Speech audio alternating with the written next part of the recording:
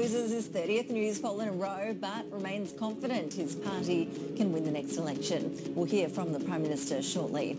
Also today, crisis talks underway between the Agriculture Minister and live animal exporters after vision was released showing hundreds of sheep dying on board a transport ship. Overseas, US President Donald Trump warns Russia and Iran there will be a big price to pay for backing Bashar al-Assad's Syrian regime. And Foreign Minister Julie Bishop praises North Korea over its willingness to have talks over denuclearisation, calling it a breakthrough. And in sport, Patrick Reed wins the green jacket at Augusta National for his first ever major championship.